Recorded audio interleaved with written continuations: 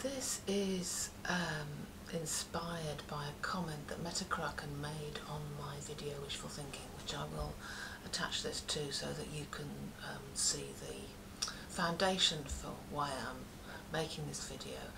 But his comment was, would you extend this argument to child rearing?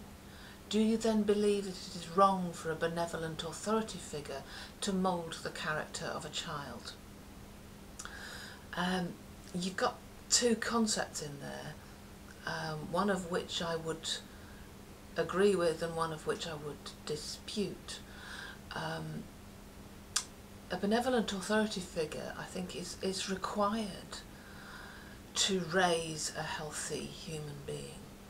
Um, it's quite apparent the sort of results that come about without that authority figure of some kind when a child is allowed to run amok um, to make all its decisions for itself without any authority from anyone else chaos generally ensues um, you usually produce um, a, an adult uh, who has no respect for others um, or who is a spoiled brat or um, is a delinquent or um, you know a whole there are a range of possibilities depending upon the lack of that authority figure. I mean you know you, you have the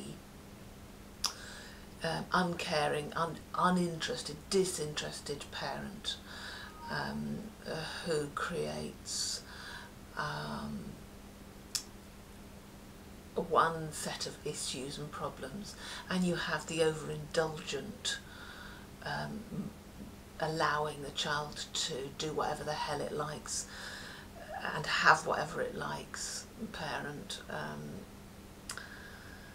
you know that that creates a, a whole different set of issues. Um, so you need somebody who is going to whether it be a parent or not because of course not everybody has the luxury of having a parent somebody who cares enough to define boundaries for a child. All children, I think, need boundaries with, within which they can work, within which they can feel secure, and which they can also push. You know, any healthy child pushes boundaries. That's in a way part of the process of growing up. You know, if you treat a two-year-old child the same way as you treat a 10-year-old child or a 14-year-old child, you, you know, you've got problems. A, an adult parent needs to meet that need of the individual and the boundaries that they require at a particular stage of their development. And, you know, that will get more and more expansive as you go. Otherwise, you end up with the sort of problem that we often actually have in society, which is the adult makes the, all the choices for the child um, until they leave home. And then you have an adult who is completely incapable of making any decisions for themselves and uh, who is ultimately a clone of their parents who will purely make the same decisions as their parents, not because of understanding that that's what you need to do, um, but because they have no other way of doing anything else. They've never made any choices on their own behalf before. Um, and I think, you know, again, that can create a variety of issues. It can produce the problem um, of feeling helpless, adrift, confused, frightened, um, it can create mindless drones who follow authority without question and who seek for others to make all their decisions for them because it's a lot easier. It's created this bizarre culture. I'm not sure whether it, it's prevalent in other parts of the world, but it certainly happens in Britain a lot, where you have, you know, ch children between 20 and even into their 30s who are still living at home, who are still dependent on their parents, because their parents have never let them go, because, you know, if you have always had everything done for you, and every choice made for you, and everything paid for for you, you know, why, why do anything else? So you effectively create a generation of helpless people. I wonder actually what's going to happen when these people have children of their own, how they're going to behave. This overprotective, bizarre attitude that so many people um, seem to have. But on the other side of the coin, you know, in relation to your other statement, should this authority figure mould the character of a child, I think that's this, um, a very dangerous statement, a very dangerous thing to do. Um, if you seek, when you're raising children, to create what you think that child should be, or to create a clone of yourself, which a lot of people seem to do, which is why, you know, you have whole families of people who think exactly the same way, who do exactly the same thing.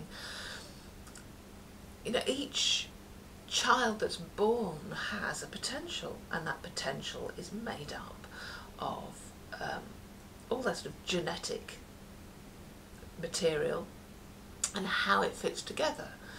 And so each child is going to be slightly different and each child is going to have different skills and abilities and directions, interests, directions it's going to want to go in.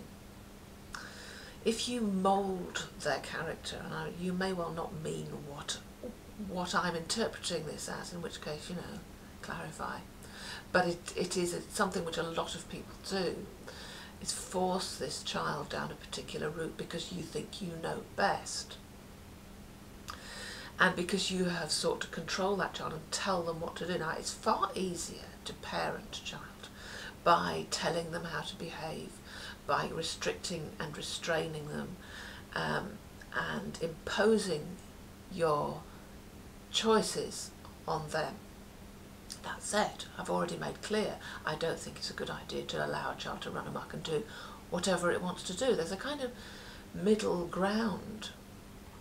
I made a very conscious choice when I had children to um, actively help them to understand the choices that they made and to make choices and to fall foul of those choices. I mean, obviously, you know, when they're young, you, you allow them to make choices over which sweeties they have or where you go for the afternoon, not major life choices. You know, those the choices that you offer a child have got to be choices that they can comprehend and at least make some attempt to um, make good choices over, but also that when they make poor choices that you can help work with them to understand why they were poor choices and what a better choice might have been or better options, better range of choices.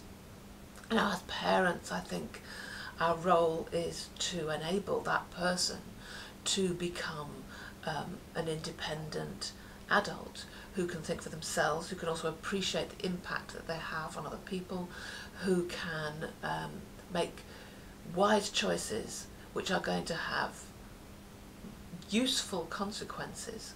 Now, of course, you know, we all, uh, as I know only too well, make fairly grave errors throughout our lives. We do stupid things because we don't know everything. And we need to find a way to learn from that. It's a far greater task as a parent to um, to work through with your child what they're thinking about, what they're wanting to do, rather than just to tell them what to do. Far, far harder, but I think far more worthwhile, far more useful. You're going to create somebody who understands the notion of um, choice, who understands how to manipulate facts, how to um, look at options, how to see how they can best work in a scenario, in a situation in which they find themselves, how to interact with other people, how to work as part of a team, because you know I think you know the first team we're part of is a family, and if we interact in that family in either a particularly selfish way or if we are carried completely, then um, we're likely to carry that into our adult lives. I, I can't overemphasize the importance of those formative years in terms of um, how we may behave and how we perceive the world as adults. So, I've rambled about here and I'm not sure how clear I've been. It's such a big subject. Um, but at least perhaps as a springboard for discussion and you know it can always be developed if necessary.